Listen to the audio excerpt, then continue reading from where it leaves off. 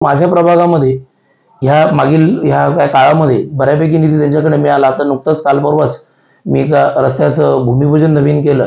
आणि पुन्हा येणाऱ्या ह्या आठवड्या दोन आठवड्यामध्येच पुन्हा दोन वेगवेगळ्या पंचवीस लाखाच्या निविदा माझ्या वॉर्डात निघालेल्या आहेत. ज्याचं वर्कऑर्डर सुद्धा झालेलं आहे. त्याचं लवकरच आम्ही भूमिपूजन करून त्या कामाला आम्ही सुरुवात करणार आहोत.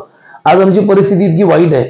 या सत्तावीस गावातल्या की संबंध महानगरपालिका क्षेत्रातल्या सगळ्याच लोकप्रतिनिधींची गेली तिसरं वर्षातही सुरू सुरू आहे. आम्ही कोणीच लोकप्रतिनिधी नाही आहोत. महानगरपालिका या कुठेतरी सगळ्या गोष्टीकडे दुर्लक्ष करते. त्यावेळेला आम्ही सर्वस्वीपणे जे निर्भर आहोत ते फक्त आमदार फंड आणि खासदार फंड परंतु दुर्दैवानं खासदार या भागामध्ये लक्षच देत नाहीये तर त्यामुळे आमदारांचा जो निधी मिळतो तो तर आम्हाला मिळतोय. त्याचं आम्ही कौतुक केलंच पाहिजे निश्चितपणे. आणि ते ते करतायत त्याबद्दल काही वादच नाहीये.